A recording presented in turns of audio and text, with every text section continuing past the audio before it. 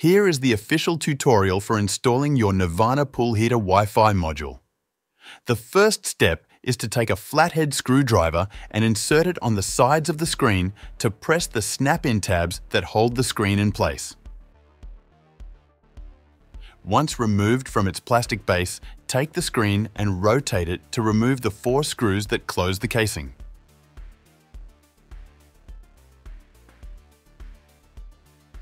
For better visibility, let's move to the table. Use a screwdriver or a drill with the minimum force option to avoid damaging the screws and remove the screen from the plastic casing. Carefully unplug the Ethernet cable. The blue socket is the Wi-Fi connector.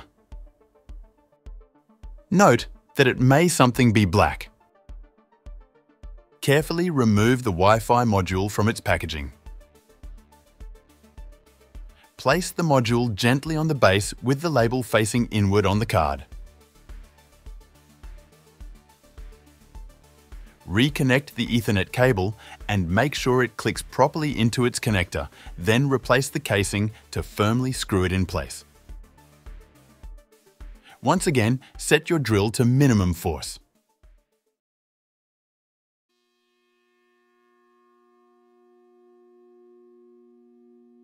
And there, you have it. All that's left is to snap the screen into its slot.